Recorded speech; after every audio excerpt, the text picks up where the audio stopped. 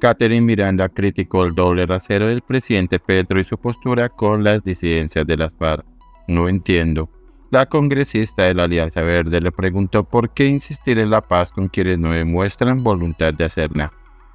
El asesinato de tres policías en el Cauca perpetrado por las disidencias de las FARC ha hecho que un sector de la política colombiana le pregunte al presidente Gustavo Petro por qué insistir en la paz total con quienes no demuestran su interés en ella.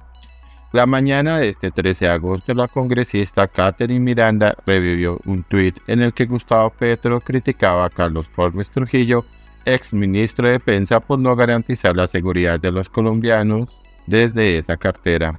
Señor ministro de Defensa, usted no es capaz, renuncie y dedíquese a su campaña.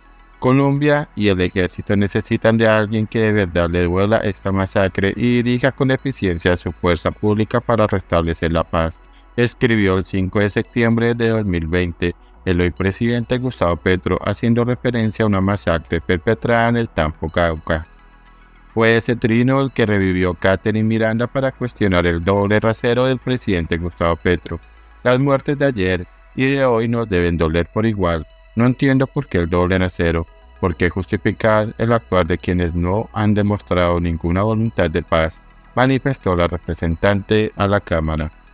Pero Miranda no es la única fin del presidente Petro que hoy lo critica por insistir en sacar adelante las negociaciones con las disidencias de las FARC. Lo mismo hizo el abogado Miguel Ángel de Río. Las disidencias de las FARC son unos criminales y su líder Iván Mordisco debe estar en prisión. Una organización criminal sin ideología no se nutre del narcotráfico o la violencia. No hay nada que negociar con ellos, solo su rendición, opinó el abogado.